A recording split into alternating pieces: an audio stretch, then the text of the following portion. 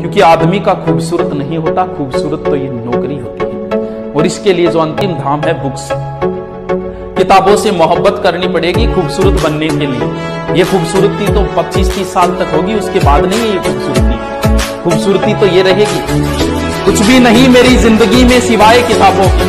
जब तुम आओगे, मुझे बदला हुआ ही पाओगे, कुछ भी नहीं मेरी ज़िंदगी में सिवाय किताबों के। तुम्हारी ख्वाहिश थी मेरा कमरा सजाने की। पर मेरे कमरे में सिवाय किताबों के कुछ भी नहीं।